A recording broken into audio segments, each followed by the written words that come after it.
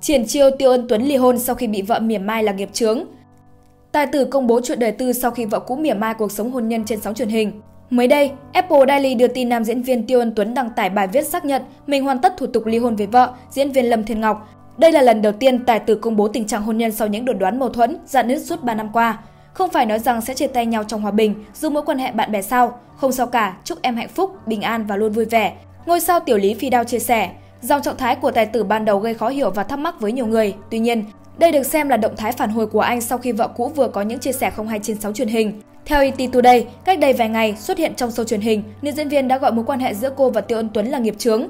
Tôi và người ấy đã kết thúc mối duyên nghiệp chướng đó trong hòa bình. Tôi đi đường tôi, anh ấy đi đường của anh ấy, không còn liên quan đến nhau, Lâm Thiên Ngọc cho hay. Thông tin về phát ngôn của cả hai được đăng tải gây chú ý mạng xã hội và truyền thông. Dù hôn nhân giãn nứt, cả hai khẳng định không có người thứ ba xen vào. Lâm Thiên Ngọc cho rằng nguyên nhân thực sự là do sự mâu thuẫn tính cách của mỗi người. Về phía Tiêu Ân Tuấn, nam diễn viên cũng từ chối chia sẻ thêm về cuộc hôn nhân. Năm 2014, Tiêu Ân Tuấn và Lâm Thiên Ngọc kết hôn sau gần 30 năm quen biết, nhưng sau ngày cưới, cả hai không chung sống hòa hợp. Những tưởng tổ ấm của cặp nghệ sĩ sẽ hạnh phúc, vững bền thì chỉ hơn một năm sau, họ xảy ra nhiều mâu thuẫn. Theo một nguồn tin, hai nghệ sĩ dù kết hôn nhưng không chịu giảm bớt lượng công việc của mình. Chính việc xa mặt cách lòng thời gian dài khiến tình cảm nguội lạnh.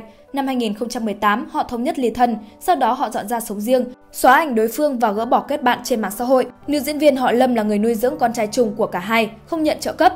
Trên sóng truyền hình, Lâm Thiên Ngọc nhiều lần khẳng định sẽ không hàn gắn với tài tử xứ Hàn. Tiêu Ân Tuấn được mệnh danh là đệ nhất Mỹ Nam cổ trang qua các bộ phim như Bao Thanh Thiên, Tiểu Lý Phi Đao, Bích Huyết Kiếm, Bảo Liên Đăng, dù đóng vai chính diện hay phản diện, tạo hình cổ trang của nam diễn viên vẫn khiến khán giả say mê với vẻ ngoài điển trai lãng tử.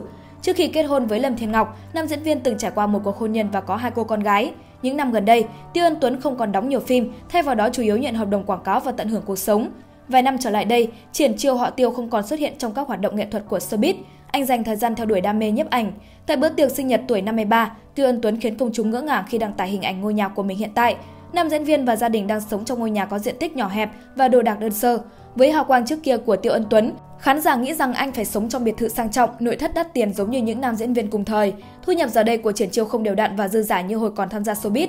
Bắt đầu bước chân vào con đường nghệ thuật từ năm 18 tuổi, nhưng mãi tới năm 25 tuổi mới tạo dựng được tên tuổi của mình nhờ vai diễn triển chiêu trong thất hiệp ngũ nghĩa. Tiêu Ân Tuấn dần được các nhà làm phim để mắt đến. Sau khi hóa trang thành công vào nhân vật Lý Tầm Hoan trong bộ phim Tiểu Lý Phi Đao, chuyển thể từ tiểu thuyết của nhà văn Cổ Long, Tiêu Ân Tuấn được đặt biệt danh Tiểu Lý Phi Đao đẹp trai nhất.